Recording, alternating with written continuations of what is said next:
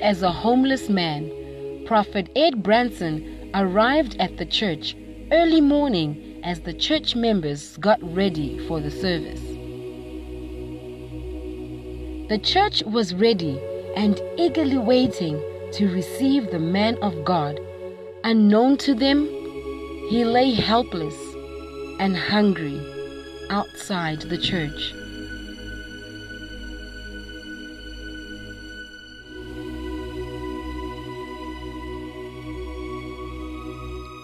He walked around the premises and no one gave him a second look or offered him help.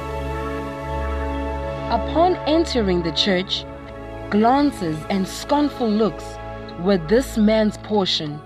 He proceeded to walk to the front, and an uneasiness filled the church. Grabbed and pulled off as he walked up to the altar.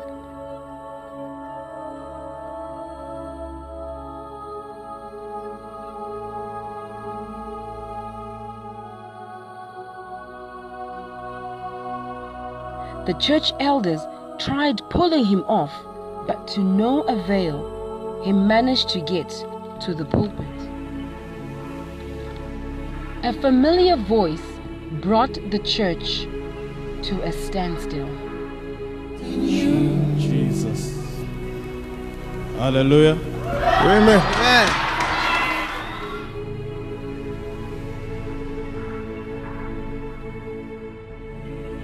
Can I ask a question? If I had come dressed in a suit, looking nice and sharp, if I had walked the, from the back of the church like I normally do, would you have welcomed me the way you welcomed me today? I was outside of the church, sleeping at the entrance of the church. I was lying at the entrance of the church. At the entrance of the church, people were driving past. People were looking at me. People were laughing at me. After they laugh, they enter church. After they look at me and they see me as filth, they look to the side, they spit, they enter church. How many times a day do you pass and see someone like me in the streets and you ignore them? If it was me wearing my suit outside, you'd have ran outside, knelt down at my feet outside, worshipped me at my feet, touched my shoes. Because it is Prophet Ed. It is easy to profess fake love. I was on the ground there outside. I walked here people were passing me by. People were, as I was walking here, people were going on one side of the road because they did not want to smell me. People, when they'll see me, they'll change route and go the other way. This is someone who has come to church, and in his hearts of hearts, he is saying, Today I want to meet Prophet Ed. But he met Prophet Ed outside and they looked at him and they spit at him.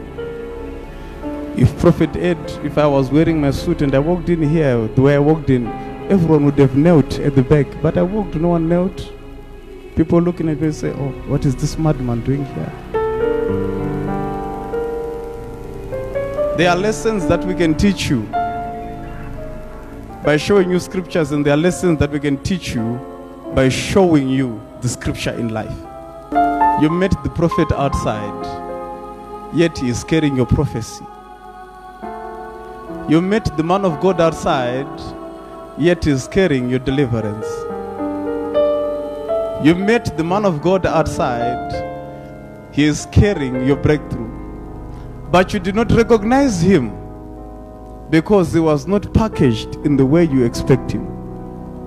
So, as a result, you did not entertain him. We have met many angels in our lives that God sent to us, but they were packaged in a way we did not expect. So we turned them away. The church needs to repent. And when I'm saying the church needs to repent, I'm not talking about my church. I'm talking about the body of Christ. If it was me outside, you'd have come and dropped $20,000, $40,000. Help the man of God, he's on the ground. Help the prophet, he's lying on the floor. Some who sold their properties and say, Let's help the man of God to rise up again. Because you are seeing the man of God on the ground, so let's help him to rise again. If you can do it for the prophet, why can you not do it for the person in the street? You don't need prophecy. You don't need deliverance. You don't need healing. You need to repent and have love.